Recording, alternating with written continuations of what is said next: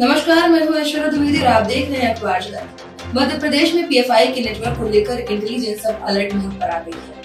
वही हर जगह छापेमारी की कार्रवाई चल रही थी, इसी दौरान मध्य प्रदेश के कई जिलों पर छापेमारी की कार्रवाई की गई। एनआईए द्वारा मध्य प्रदेश के इंदौर व उज्जैन शहर में भी छापेमारी की कार्रवाई की गई, जहाँ से कुछ लोगों को गिरफ़्तार किया गया। देश में पीएफआई के ठिकानों पर एनआईए ने रेड की पीएफआई के मध्य प्रदेश के चार स्टेट लीडर्स को गिरफ़्तार भी किया है।